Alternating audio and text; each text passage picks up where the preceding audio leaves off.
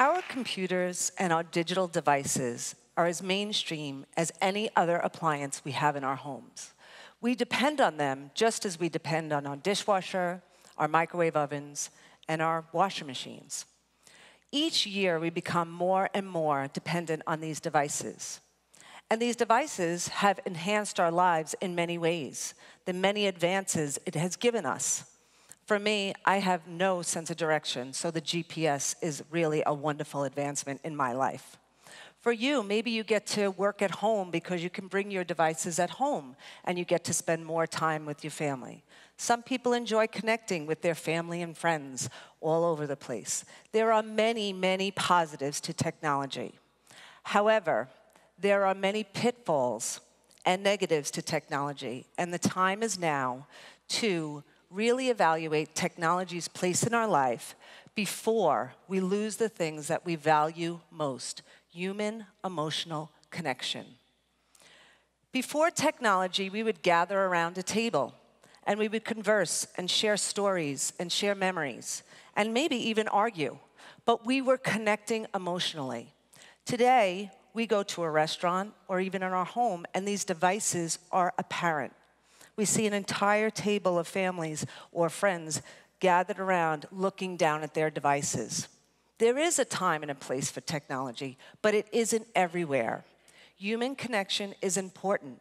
We're here to support each other. We're here because we all are part of something bigger.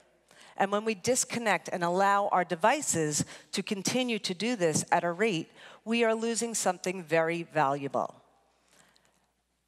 When we think about positive reform, it is possible. I'm here to tell you that it is quite possible.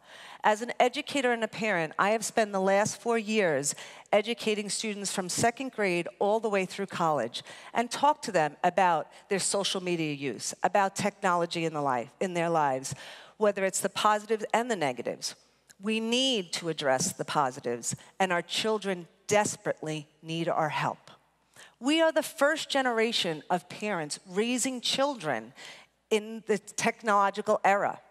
We ill prepared them for what was ahead, not because we didn't care, we didn't know. Technology has been in our life for 20 plus years now. We now know.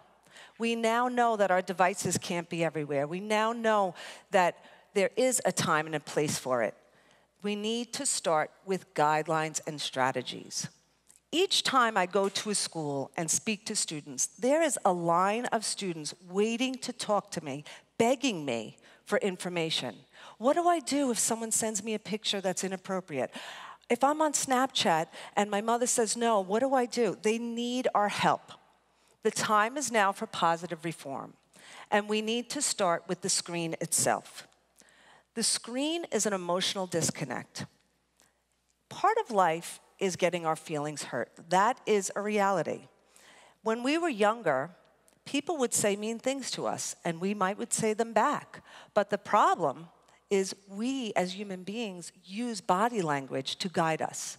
Our children don't have that. If someone said something mean to me, or I said something mean to someone, and when I was younger, I saw a tilt of a head, a shrug of a shoulder, and I got a knot in my stomach. I had a natural consequence to what I was doing, that my words had power. That gut, that intuition was teaching me something. It doesn't feel good to hurt someone. The problem is the screen went up and our children's empathetic skills went way down. It is a generation of children who need to strengthen their empathetic skills. Because everything we've taught them offline be kind, be respectful, think about what you're saying before you act. All of those things, for some reason, they are not transferring once they get behind that keyboard.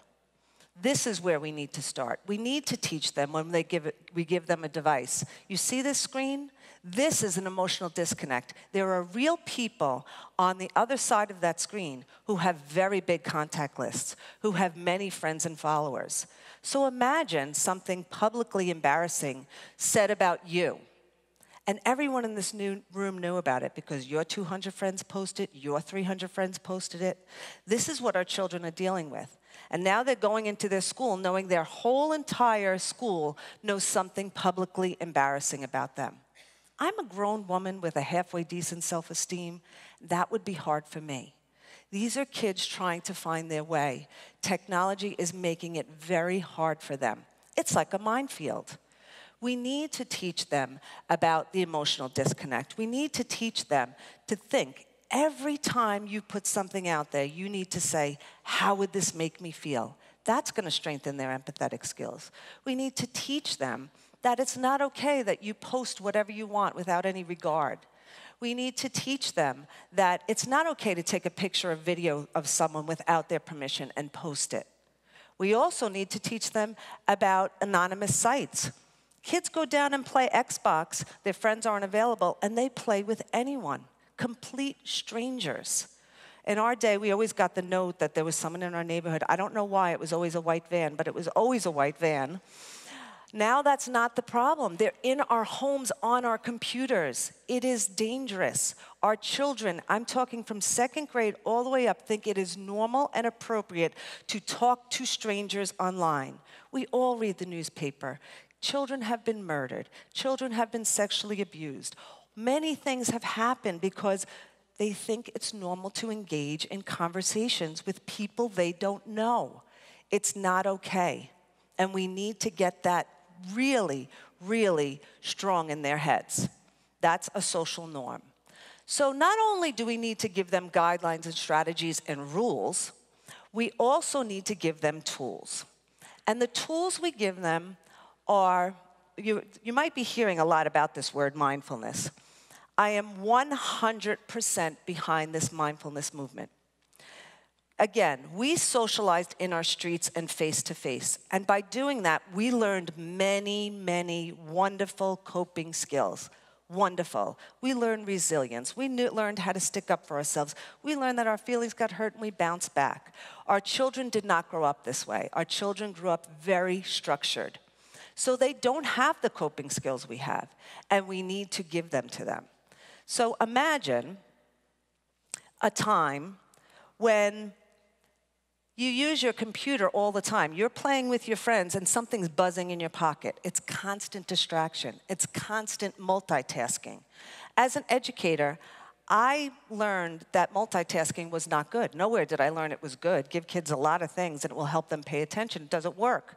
What I learned was the number one predictor of success is someone's ability to focus and follow through. And our children are distracted constantly. Even when they have friends at their, at their house, they're sitting right next to each other with their devices. So we need what mindfulness is to overly give you an oversimplification of what mindfulness is. It's the ability to be in the present moment fully with your mind and all of your senses. So now you're all listening to me, you're engaged, you're mindfully listening to what I'm saying. If your mind's wandering and you're saying, right after this, I have to go to CVS, I have to make that doctor appointment, my kid's, my kid's game is at this time, your mind is wandering. You're not mindfully engaged. Well, we can train you to do that. We can give you that skill. So our children aren't the table of kids with their devices. So our children go to parties and enjoy the event for what it is. We've all gone to parties. I've gone to graduation parties with teens where a three to four hour party, no one is engaging with each other. They're selfie, selfie, selfie, post it, post, let me video it, and let me post it. Wait, I don't like that. Let me do it again. Three hours go by. That's an anti mindful behavior. I want my children to be there and engaged. And guess what? The party is not about you. The party is about someone else. And learning to be happy for someone else and celebrating someone else's milestones is a good thing. So our children are learning to be narcissistic, voyeuristic, that multitasking is good, that um, overvaluing their peers' feedback to such an unhealthy level because of that like button, that they make decisions based on everyone else's approval. Now, that's normal for an, a teen, but not to this level. Not to this level that they do everything for a like. It's peer pressure in their pocket. We can do better. We have to give them the tools, and mindfulness is a wonderful. I started my mindfulness practice about four years ago, and I can tell you it is fulfilling life. When you learn to be present and engaged in here and now, it's fulfilling. And our children, I'm afraid, are being fulfilled with artificial things. They look at people's posts and they compare their lives to someone's fabulous day. No one's posting all the bad things. No one's saying, oh, my parents might get divorced, or, or um, I just failed my geometry test, or they're all posting the really great things and really putting a false sense of themselves up there. That's not healthy. Socially and emotionally, this is getting in the way of our children's development. And we need to act now. We know what it's good for. It's great that you can look up your research paper at no problem. It's not okay that people walk down the street like this and everybody should part away like it's the Red Sea. There's just a news story that someone was walking into an elevator on their phone and there was a sign, they were uh, repairing the elevator, and they walked in. It was only two feet and they were fine. But this is what's happening. And we all laugh because, like, oh, that's funny, that's funny. I know the other side. I have good relationships. I connect with people. I know how to do that because of my life experience. What kind of marriages are they going to have? What kind of friendships are they going to have when you can't connect emotionally with each other? We have to find its place. I'm not saying technology is bad, but we really need to give them the skills they, they need to build a healthier way of living and find its place.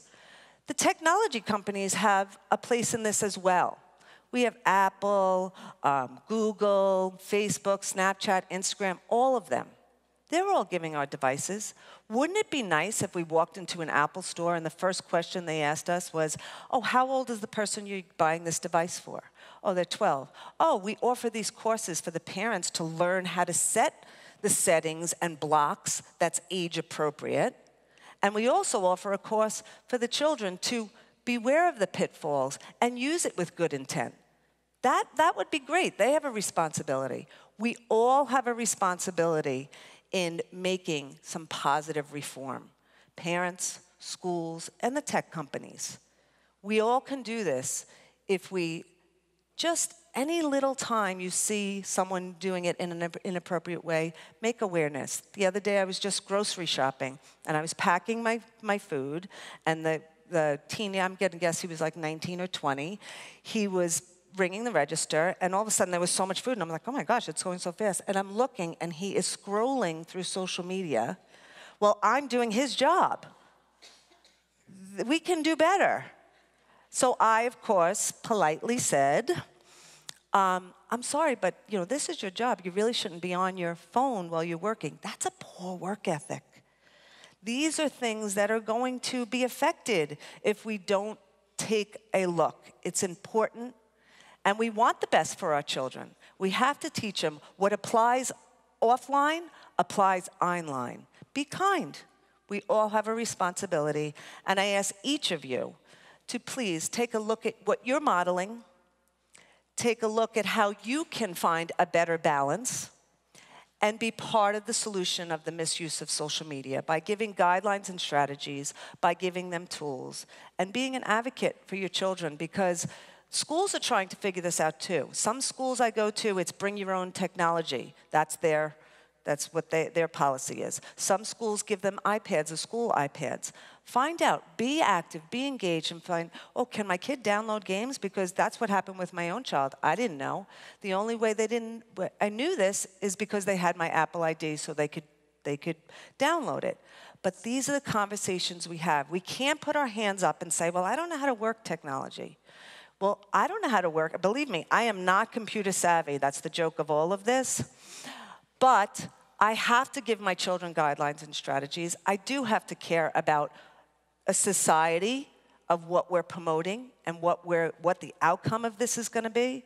Because what I'm talking about today in a very short amount of time is just scratching the surface of what technology is bringing if we don't bring awareness and mindfully think, okay, where is it good, where is it not? So I ask each of you to please be part of the solution and help however you can. Thank you.